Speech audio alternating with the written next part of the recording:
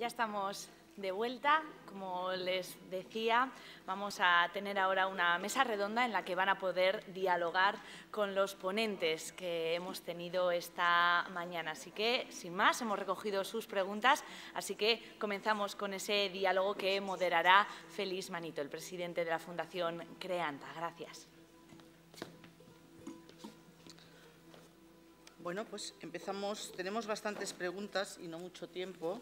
Por tanto, vamos a intentar sintetizarlas un poco y que ustedes también sean un poco concretos para que así puedan tener respuesta a todas las preguntas hechas.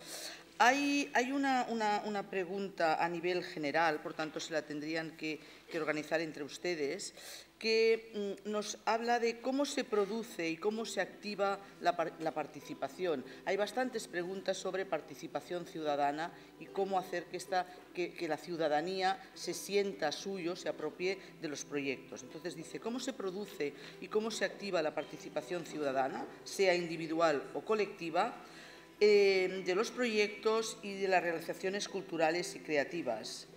Eh, ¿Dónde se sitúa el ciudadano? cómo se le invita a la participación. Yo, yo empiezo. Eh, mire, la, cosa importante en la participación es de ver cómo el ciudadano puede participar. Entonces hay que ponerlo en el, al principio del proceso. No es posible de, hacer un proyecto sin saber lo que quiere él. Entonces, cuando hice mi, presentación, hablé de que era un deseo de, las universidades, pero em, hay que hacer una mezcla, es decir, político, universidades en, los ciudadanos. Eh, y cada proyecto que tenemos nosotros, em, la clave es de, tener em, siempre, con nosotros un comité con, eh, ciudadanos y ver con ellos y pedir a ellos de participar. Si no, no vale. Al final no van a participar. Entonces, incluir ellos al principio.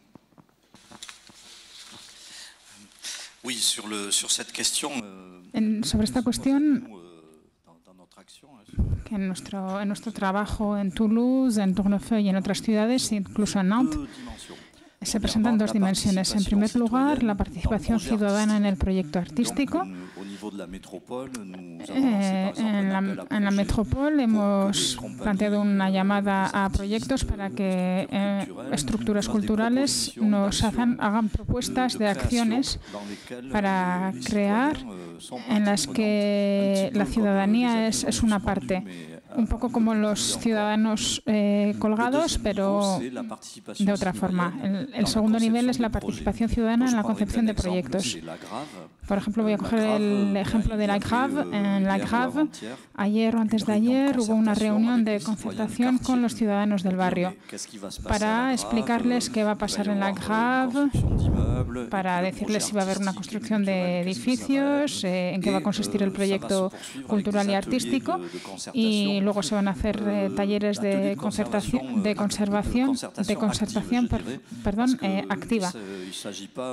No se trata de tener gente en un, en un escenario explicando qué va a ser la GAF, sino que va a ser de otra forma. Por ejemplo, voy a coger un, un proyecto, un ejemplo que es un proyecto que estamos haciendo en la antigua prisión de Saint-Michel, en Toulouse. Hemos llamado a Caroline Trotman, que es una diseñadora social, así se llama que, trabaja estos productos de concertación. Entonces las personas están en talleres, con, en mesas, con juegos, con cartas, para que la gente pueda sacar, para que la gente pueda aportar todas sus ideas, manifestar sus deseos, sus ganas sobre qué puede hacerse con ese edificio y qué hacer con ese proyecto. Creo que es el futuro. O sea, lo que se plantea no son reuniones así, como, o sea, dar la palabra a los ciudadanos, sino que creo que es el futuro son las, los talleres creativos y participativos para decidir de manera conjunta cuáles son los ejes del proyecto. Para una respuesta telegráfica, es una pregunta muy amplia, pero para una respuesta telegráfica y desde el punto de vista que defendemos en, en, en, en la Agenda 21 de la Cultura, la participación ciudadana en las políticas culturales entendemos que debe estar inscrita ah, como un elemento básico de las políticas culturales. Es decir, sin que en los planes de gobierno aparezca de manera clara que la política cultural se elabora, se implementa y se evalúa con la participación de la ciudadanía, eh, bueno, esta participación queda, queda coja. No voy a responder mm, en los temas más de participación ciudadana en los proyectos artísticos o patrimoniales, porque pues, la mesa tiene, tiene otros expertos, pero en el ámbito de las políticas públicas, pues ahí sí. Eh, y la participación ciudadana en la elaboración, la implementación y la evaluación de las políticas públicas tiene que ver con la participación del llamado sector cultural, claro, también de los sectores económicos que tienen alguna cosa que ver con la cultura, aunque no se definan como sector cultural, de la sociedad civil, de los activistas por los derechos humanos, por el medio ambiente, por la inclusión, porque en muchos de sus programas sí tienen implícitamente una dimensión cultural o sus acciones tienen un impacto eh, de rango cultural. Y finalmente de la ciudadanía, eh, de la ciudadanía que aporta siempre un, contacto directo con el territorio, que te permite renovar el lenguaje, que te permite pues conectar con lo que pasa en la calle, que es lo que a todas y a todos nos interesa. En fin, como respuesta telegráfica. Bueno, en mi caso les responderé con un ejemplo. ¿no? Estamos trabajando en un proyecto de, turismo cultural eh, vinculado a un proceso participativo en una pequeña localidad de Bolivia que es Tiwanaku, muy cercana a La Paz. ¿no? Tiwanaku tiene una gran área arqueológica eh, inscrita en la lista de Patrimonio Mundial eh, forma parte del Capagñán, un itinerario cultural transnacional eh, que comparten con otros países andinos. Y por otro lado, eh, tiene la cultura aymara, es una, de las uno de los grupos pueblos indígenas originarios de, de América del Sur, pues está reconocido la, cultura como eh, buenas prácticas, la valorización de su cultura como buenas prácticas dentro de la Convención también de Patrimonio Cultural Inmaterial. ¿no? En ese contexto, eh, con fondos de la cooperación japonesa, la UNESCO está desarrollando un programa de, utilización de la cultura como generador de desarrollo. Ese proceso participativo en el que estamos trabajando eh, llevamos dos años. Es decir, realmente los procesos participativos son lentos para, elaborar un plan. A veces nos damos cuenta que la gente confunde participación con información. ¿no? Tenemos este proyecto, informamos a la comunidad y la comunidad puede dar su opinión. En este caso, pues, la participación implica trabajar el proyecto con la comunidad. En nuestro caso, se trabajan con proyectos individuales para fortalecer a negocios vinculados con el turismo cultural ya existentes, para hacerlos más competitivos, pero por otro lado también apoyo a los emprendedores y emprendedoras, sobre todo jóvenes, que no tienen acceso al crédito, no tienen acceso a, ese, elemento, y después trabajando con proyectos colectivos. Lo que nos ha ido muy bien era identificar líderes dentro de cada uno de los grupos de acción. Entonces, por ejemplo, en nuestro caso trabajábamos con tres núcleos urbanos y 23 comunidades indígenas rurales. Eh, entonces se identificaron a partir de asociaciones empresariales, eh, por otro lado también a través de las juntas vecinales y en este caso las 23 comunidades indígenas están agrupadas a través de una asociación que se llama CACOT. Entonces lo que intentamos es de que cada grupo eh, pudiera, generar un, interlocutor que nos pudiera generar diferentes niveles de, de actuación. ¿no? Y con ellos, conjuntamente, se ha creado un plan de acción. Y ha sido muy importante porque, claro, la cooperación está financiando ahora esta fase pero sobre todo para dar viabilidad al proyecto ha sido muy importante empoderar a esa ciudadanía porque hay una parte que sí que llega, hay fondos públicos, pero hay otro que también llega con los fondos que pueden ellos, que pueden ellos destinar y sobre todo el tiempo. Yo creo que aquí ha sido fundamental decir que el principal capital que se invierte es el tiempo, que a veces no se, no se calcula, y sobre todo para obtener un beneficio que pueda ser individual o, colectivo. ¿no? Y, realmente pues ha sido bastante muy interesante poder ver cómo se puede hacer una hoja de ruta.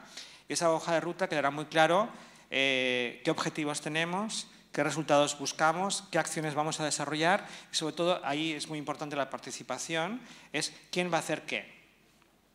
Y sobre todo qué aporta cada uno y sobre todo qué quiere cada uno. ¿no? No, no, no, sueltes el, micro porque hay, un par de, preguntas. Hay una pregunta que va dirigida tanto a Jordi Treserras como a, a, Damián Siles.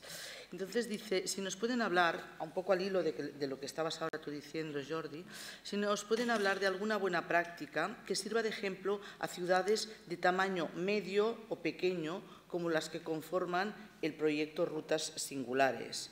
Eh, porque hemos visto bastantes, bastantes ejemplos, pero de ciudades de medidas más grandes y pedían ciudades más, que nos ayuden al proyecto que estamos llevando a cabo. Y ya puestos a pedir, también nos dicen si eh, eh, pueden concretar también si hay buenos, buenas prácticas en el ámbito de la fotografía y del videoarte en ciudades pequeñas y medianas. Esto ya es, digamos, para nota esta parte.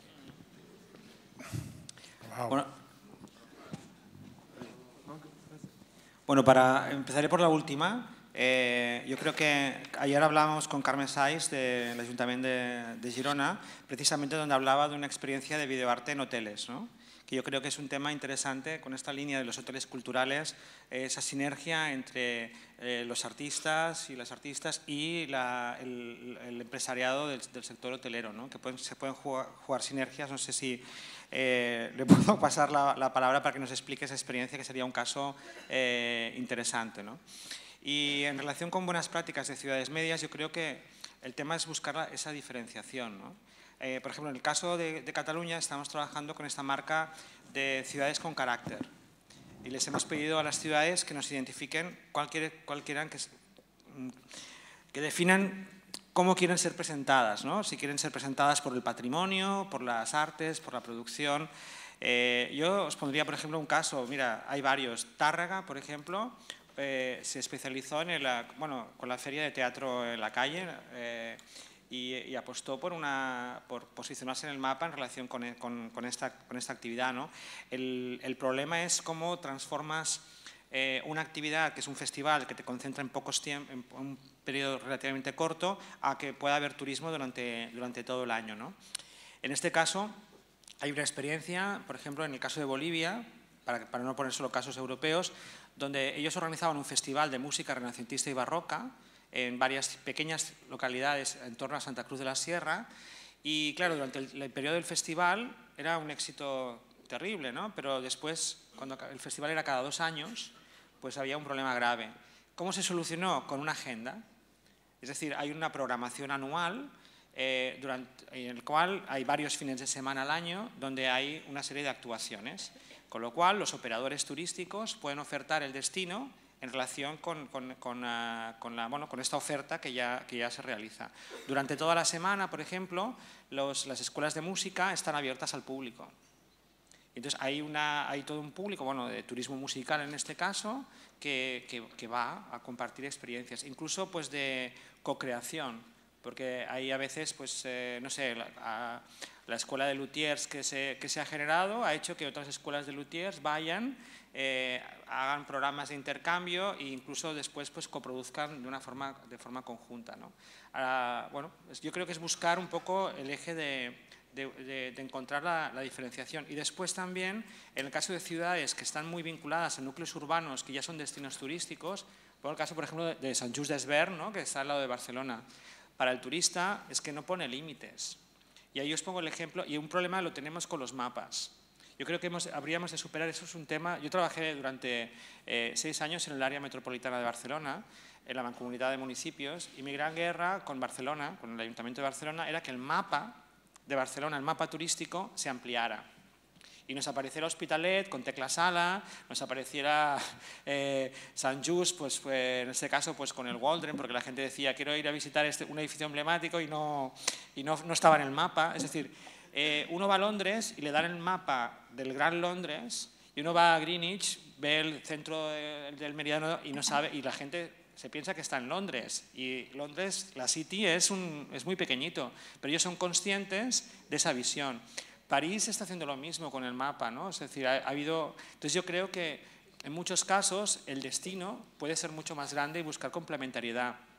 Por ejemplo, con Vilafranca, con la ciudad que estamos trabajando, Vilafranca, el mundo del vino, es el elemento diferencial. Pero uno llega al aeropuerto del Prat de Barcelona, por ejemplo, o llegas a Vilafranca, y no detectas que esa ciudad tenga el vino como un eje eh, diferencial. Uno llega a Burdeos y en el aeropuerto de Burdeos te encuentras que ya todo destila, el, destila a vino, ¿no? O sea, es un territorio vitivinícola donde, donde está, está clave.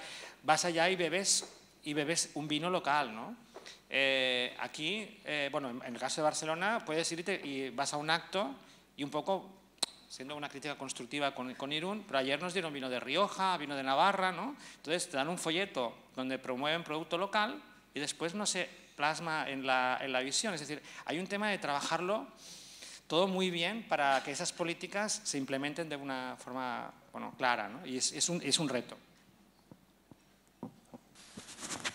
Je vais le faire en français. La, la, la question est, est euh, la question métaphysique très importante, Es muy importante saber las grandes ciudades las pequeñas ciudades que no tienen los mismos medios, pero antes estaba hablando con la primera persona de Irún que, que me comentaba que quería hacer con el desarrollo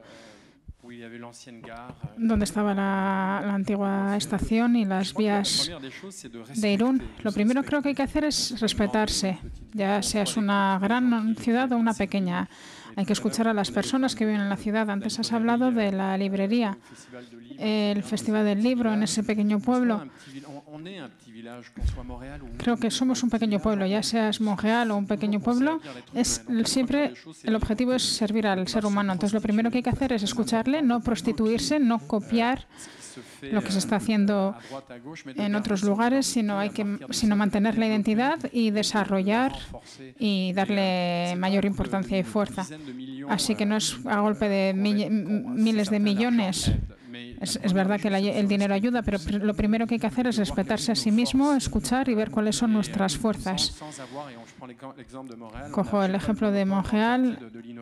No tengo el monopolio en el, en el barrio de la innovación porque es enorme. Somos una isla y, y hay otros barrios donde están desarrollando la aeronáutica, la inteligencia artificial pero respetamos la historia de ese barrio, que es un barrio industrial en el centro de la ciudad, y respetando eso, pues podemos llegar podemos amplificar nuestra fuerza y, y mantener nuestra identidad. Creo que es lo más importante.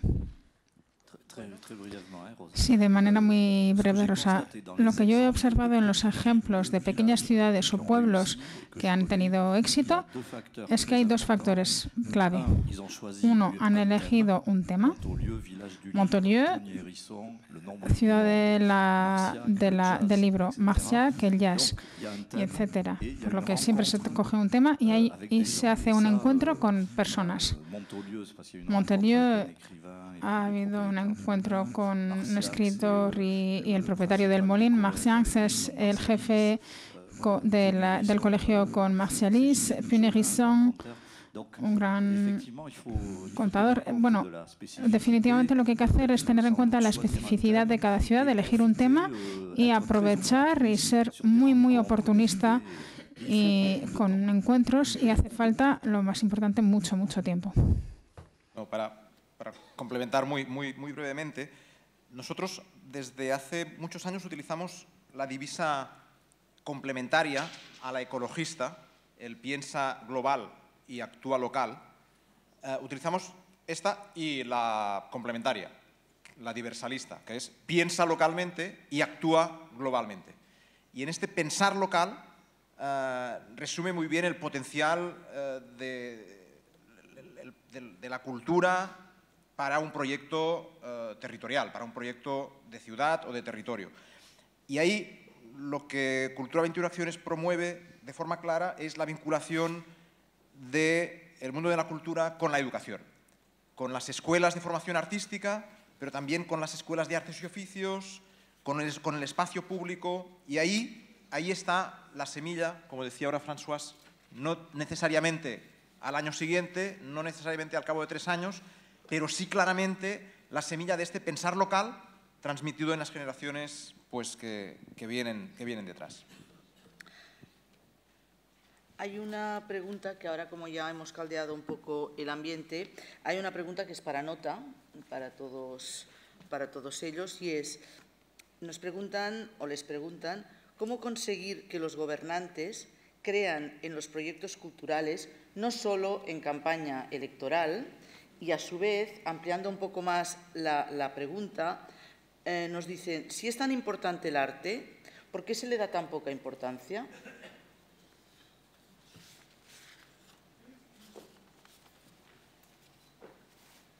Silencio en la sala.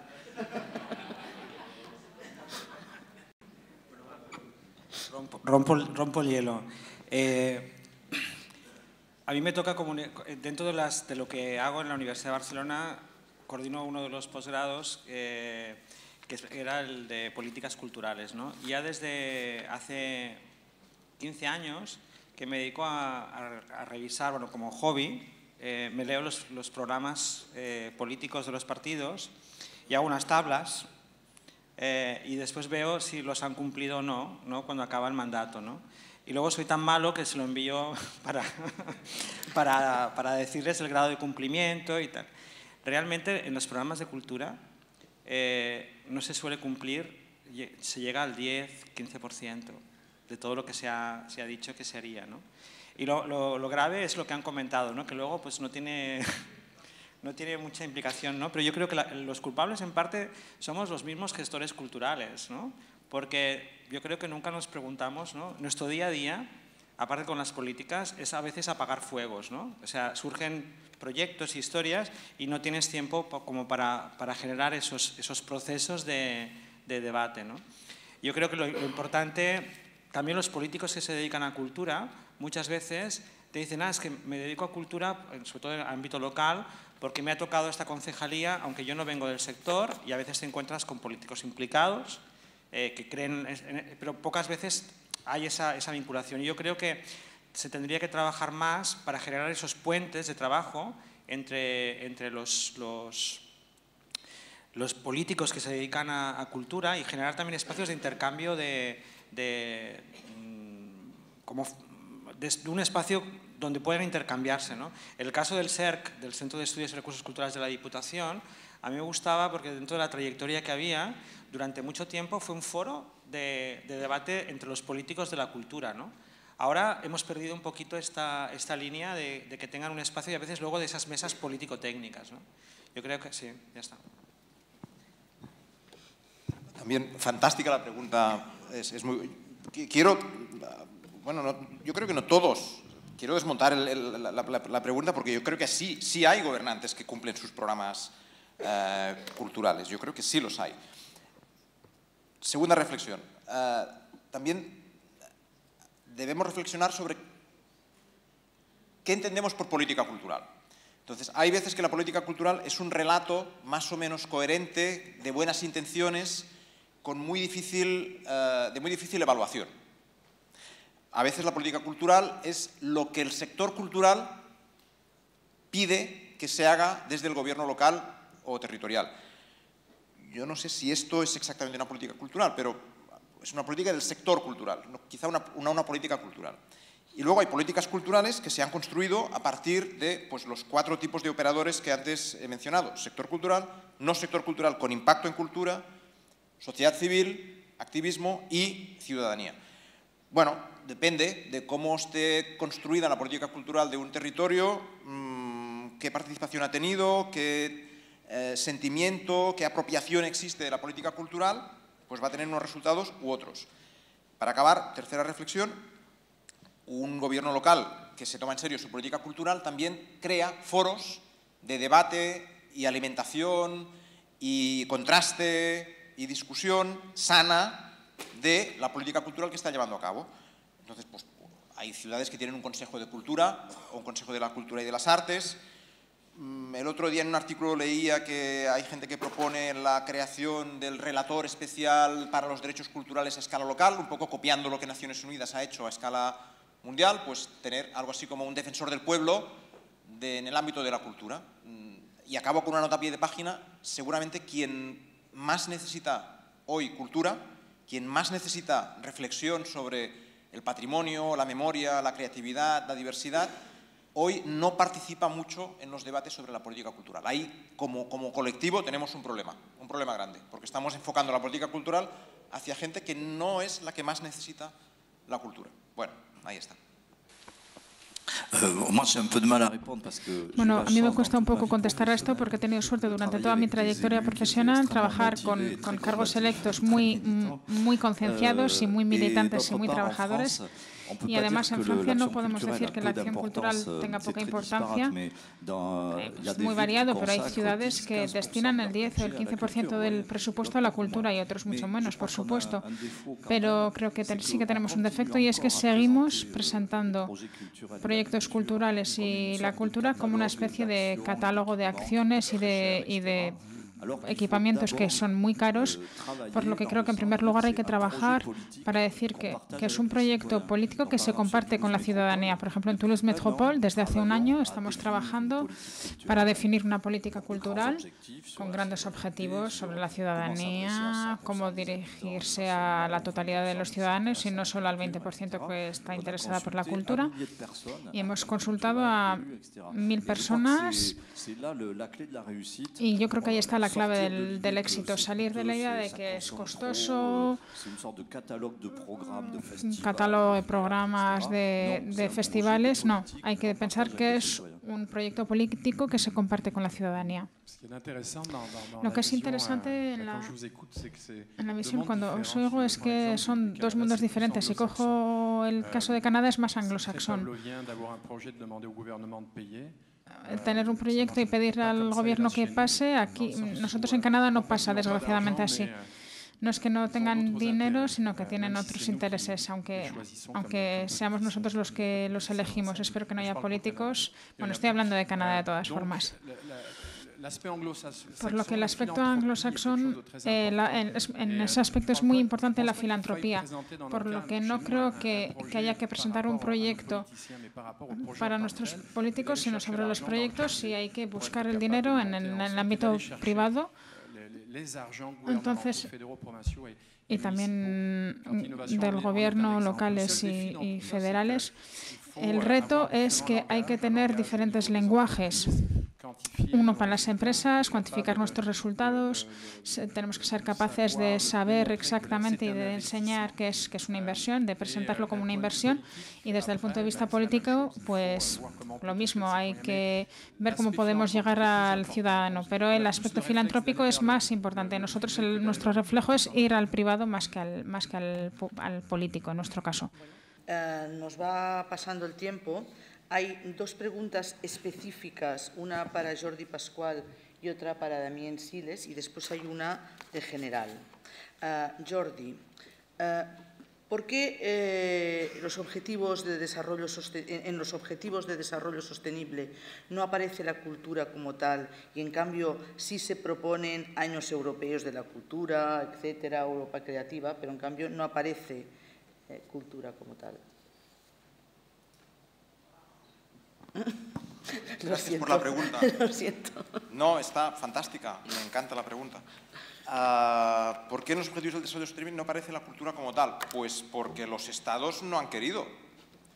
Porque en el debate que se sostuvo entre el año 2013 y 2015, quienes uh, decidieron la lista de los objetivos del desarrollo sostenible fueron los Estados miembros de Naciones Unidas y no llegaron a un consenso pues, que los temas de cultura merecían un, objetivo.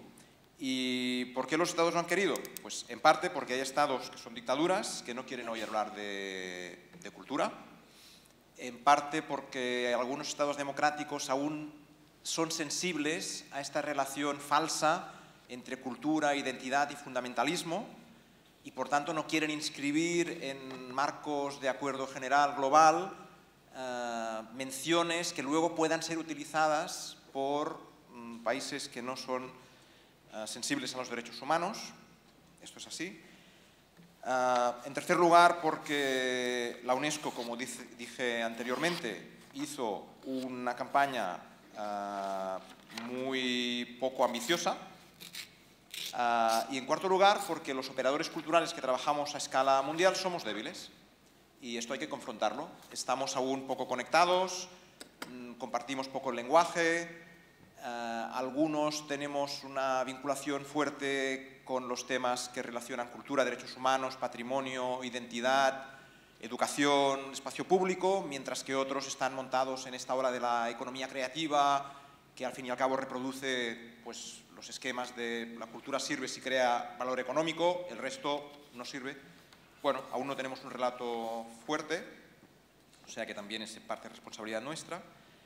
Y para dar un poco una pincelada de optimismo, yo creo que el trabajo que está haciendo en Ginebra la Oficina del Alto Comisionado de Naciones Unidas para los Derechos Humanos, que tiene desde hace eh, casi 10 años, desde el año 9, tiene una relatora especial de Naciones Unidas para los Derechos Culturales.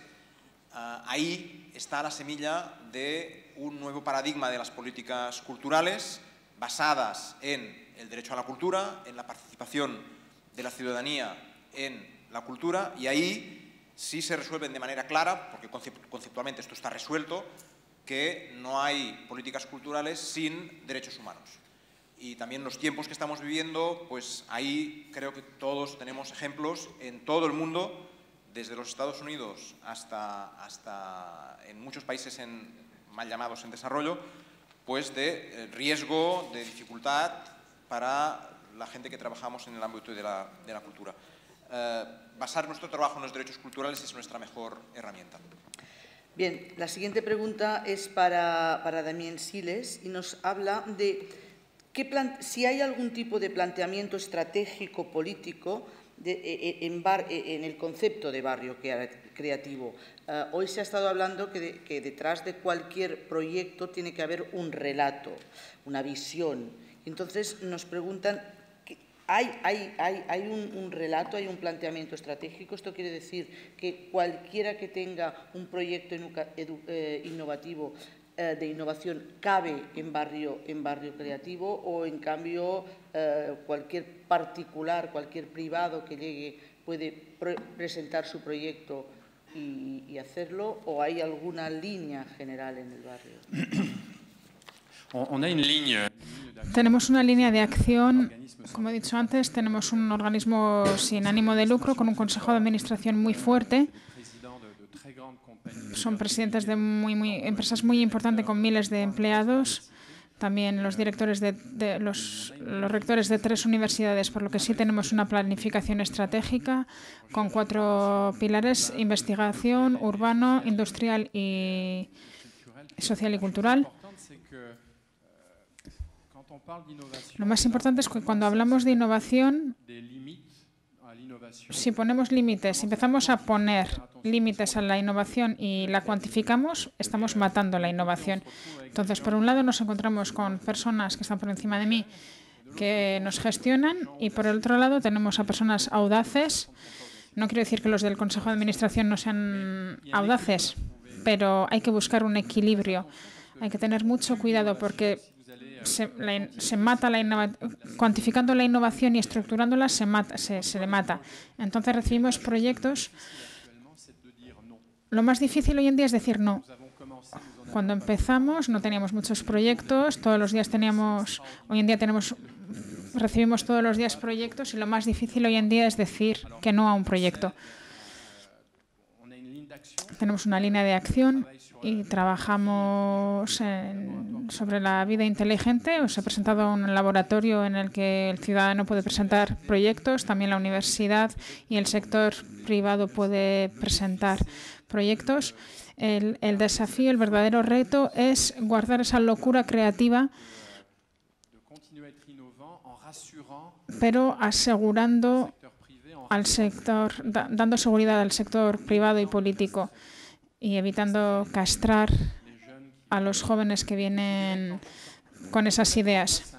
Queremos poner en marcha un, terreno de juego y ahí tengo, tengo un sueño y es pedir a los funcionarios, hemos empezado ya a hacerlo, es pedir a los funcionarios que trabajen con nosotros desde el principio de la innovación, no al final.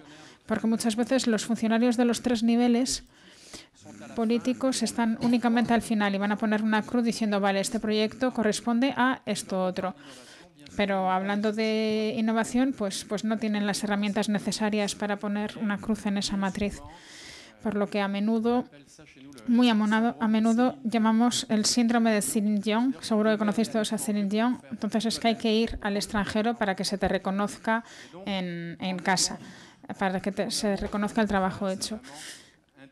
Entonces, lo que queremos hacer es integrar a los funcionarios, a los legisladores, los legisladores de la innovación para que estén preparados. Porque cuando llegamos con un pijama inteligente o un teléfono o un patinete eléctrico, pues ser capaces de facilitar dicha innovación. Es una cuestión muy, muy compleja. Por ejemplo, si se estructurar la innovación mata la innovación, por lo que hay que buscar la dosis justa. Para que nos hagan una conclusión, hay una pregunta muy concreta para François Lagissan que ha creado expectativa en, diversas personas y es ¿por qué el Minotauro tiene que pasar a, pasar a ser o está pasando a ser el elemento referente, el faro de la ciudad?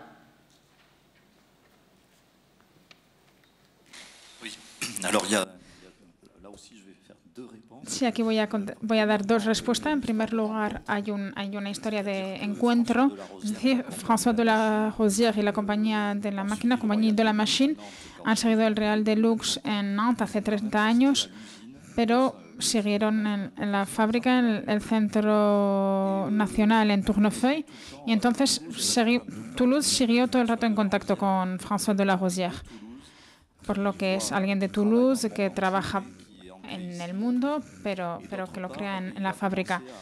Y además, pues ha empezado a delirar un poco, a imaginar un animal fantástico, pues, pues lo que, porque lo que él hace son animales, un dragón, una araña, y para Toulouse le ha parecido evidente hacer un minotauro por, por, por la historia del mártir San Salvador. Es un, salto, un santo de Toulouse que ha sido arrastrado por un toro en la calle de Tog. Entonces el toro, Minotaur, Taurus, entonces empezó con esa idea y patrimonio histórico, patrimonio inmaterial, más o menos cierto, no sabemos si es inventado o no, entonces eso lo ha unido a Grecia, el laberinto, Ariane, el hilo, pues deja una araña, bueno, son artistas, entonces pues empiezan con algo muy pequeño, una historia muy breve, la historia de un mártir local y, llega pues a, a, un ámbito internacional y todo lo que es mitología. Muchas gracias en la recámara diversas preguntas, un par o tres de preguntas que iban dirigidas en relación a, los programas y a las transformaciones eh, eh, que se pueden llevar a cabo con los proyectos creativos que son para François Lagissan.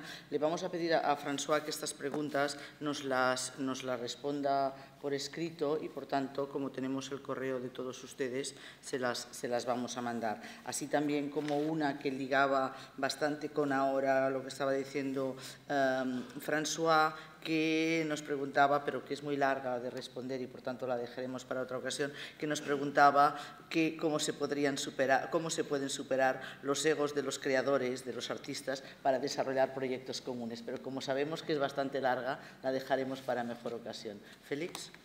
Bien, vamos a finalizar este mm, diálogo, este intercambio de visiones hay muchos temas que nos han quedado en el tintero, pero yo sí que quisiera cerrar con vuestra visión rápida de algo que es eh, básico para el proyecto Rutas Singulares. Es un proyecto que tiene, eh, su finalidad es eh, experimentar, innovar.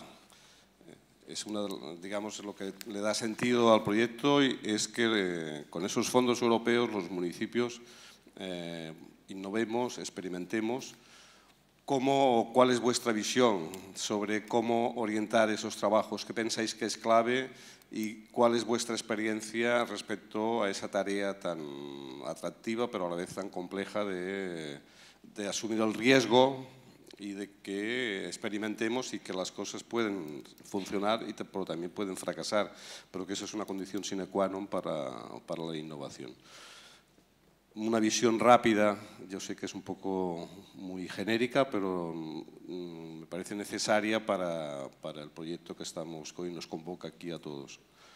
Damián.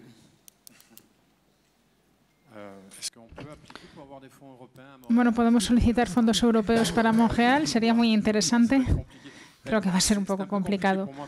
Para mí es difícil, ya que tengo una visión más canadiense de, de, esto, pero lo que os puedo decir es repetir la idea. Hay que ser audaz, hay que ser creativo, hay que ser capaz de, de escucharse y no reinventar o copiar lo que están haciendo otros. Hay, cada uno tiene que mantener su identidad y, y ir a buscar la fuerza en la juventud. Hay que Así que antes estaba hablando con, con, una persona en este nuevo barrio que va a surgir en, en, Irún, pues van a ser los van a ser seres humanos los que van a habitar dicho barrio, por lo que hay que escucharles y ver cómo de manera conjunta podemos desarrollar algo nuevo. Hablamos de, hablando de turismo, cada gran ciudad o pequeña está, está desarrollando su propio turismo como puede. Creo que incluso Barcelona está viendo la manera de poner una, un impuesto para, para el turismo porque hay demasiada gente. Venecia ya lo hizo. Hay que buscar un equilibrio. No podemos ser un centro comercial de, turistas. Cada uno tiene que mantener su, identidad. Yo vengo al País Vasco, ¿qué espero? Pues hay montañas, hay mar, hay una historia ferroviaria. ¿Cómo respetar todo esto? Voy a Canadá, es inmenso, es verdad. Hay osos, hay bosques, hay lagos. La idea es mirarse a uno mismo, no prostituirse y no copiar a los demás no prostituirse con el dinero. Hay, hay países muy ricos que lo hacen. Cada uno tiene que mantener su identidad. Cada vez se ve más. La innovación se utiliza en todos los en todas partes. Sin embargo, hay que ver cómo somos capaces de hacerlo en Montreal. Lo que hacemos es, pues eso, ver cómo con las fuerzas que tenemos y evitando estructurarla, porque si no, no se avanza. Y es muy simple de decir, pero muy, muy complicado de hacer. Creo que la baza, la, lo, lo, positivo es la juventud, las universidades, esas, esa nueva generación muy, muy diferente de nosotros, muy diferente de, los de la, la, época del baby boom y que quieren coger el relevo y hay que saber escucharles antes de desarrollar, desarrollar planes internacionales o planes culturales. Por lo que muchas gracias por haberme invitado. Si después quieren que conteste preguntas, díganmelo. Me, me damos bien el tiempo cortos para... Lo que yo diría es que con, con, las, con las personas con las que yo he trabajado, Tournefeuille, eh, Baracaldo, Huesca, la idea es siempre, primero, apoyarse en una base sólida, tener una buena biblioteca, una catedral en buen estado o un castillo como en Foix, un teatro que funcione, y a partir de esa base sólida, pues ir hacia lo insólito, hacia el delirio. Imaginar, porque es solo con una base sólida que se consigue prácticamente cualquier cosa. La Unión Europea permite esto con la financiación, porque ¿cuántas veces podemos oír decir qué, qué, qué es exactamente lo que estáis haciendo? Ahí es donde se gastan nuestros impuestos y en cuanto se dice no es la Unión Europea la que paga, no se preocupe, pues es, es lo que pasa. Telegráficamente, uh en primer lugar, confiar, confiar en las personas, confiar en los actores locales. Eh, en segundo lugar, dar tiempo para respirar en esta dictadura que estamos todos, a la cual estamos todos sometidos, de la inmediatez y de los pelotazos, eh, en fin, pues dar tiempo, respirar, mmm, que los análisis locales tengan, tengan sentido, sean compartidos por todas, por todos. Y, en tercer lugar, desde un punto de vista organizativo, entender que los temas de turismo cultural y ciudades creativas tienen que tener una relación estrecha con el conjunto de las políticas públicas de, un gobierno local, especialmente con las políticas culturales y educativas, pero también con los elementos que tienen que ver con pues, la planificación física, urbana, en fin, ahí está. Bueno, y la recomendación que os daría es trabajar en la creación de un catálogo de experiencias, eh, un catálogo de experiencias turísticas, culturales, eh, para compartir no solo entre vosotros, sino para que, eh, basados en la, un catálogo de experiencias basadas en la tradición, por un lado la, en la identidad, en la autenticidad, pero también en la creatividad. Eh, un catálogo que fuera con unos criterios comunes. Os podemos pasar una ficha, por ejemplo, que es la que se, estamos utilizando desde la Agencia Catalana de Turismo, pero sobre todo para dirigirla a aquellas personas interesadas en vuestra localidad, es decir, al turista individual, pero también a los operadores turísticos. Yo creo que eh, cambia mucho a que una ciudad eh, se presente, a que realmente vayáis varias ciudades en este caso eh, de los Pirineos ¿no? o de, la, de, esta, de, ese territorio de Poctefa para mm, presentaros como un, destino, como un destino turístico. Yo creo que la diferenciación precisamente es que son localidades que, yo diría que con la excepción a lo mejor de Foix, que no son destinos turísticos conocidos. ¿no? Entonces yo creo que eh, es un poco descubre estas ciudades que tienen una, pueden tener una singularidad. ¿no? Yo creo que, que eso sería ponerle cara al turismo, Creo que por, lo, que estuve viendo de, las, de, la, de, la, oferta, uno de los temas claves es que tenéis muchos emprendedores que le ponen cara, es decir, ese, contacto con la, con la, ciudadanía, que yo creo que, es un tema importante, con, con, los que van a crear esa, esa, esa, oferta y sobre todo trabajar en ese, en ese caso eh, con unos canales de promoción y comercialización basados precisamente en esa, en esa diferenciación. ¿no? Y partir de errores que a veces nos pasa a los propios políticos o los gestores del turismo cultural que pensamos más en cifras, ¿no? en gestión de visitantes y no en la gestión de las experiencias de los visitantes. ¿no? Yo creo que por el tamaño de vuestras ciudades podéis trabajar realmente con una oferta que sea muy positiva y convertir a esos visitantes de vuestras ciudades en los prescriptores, ¿no? Eh, que ellos se conviertan un poco en los embajadores de vuestros destinos ¿no? y aprovechando las redes sociales que tienen un coste simplemente de tiempo, ¿no? pero que realmente pues, pueden ayudar a, posicionar realmente con una oferta que va desde el patrimonio cultural hasta de FOA a lo mejor, el más tradicional, podemos decir así, hasta la, visión de, de con el tema de la creatividad y del arte de la calle. ¿no? O sea, yo creo que tenéis ahí una gran fortaleza si lo sabéis jugar vuestras cartas. ¿no? Muy bien, gracias Jordi, gracias Jordi Treserras, Jordi Pascual, François Llayusán, Damián Siles. Un aplauso, la verdad es que han sido sus aportaciones de gran valor. Gracias.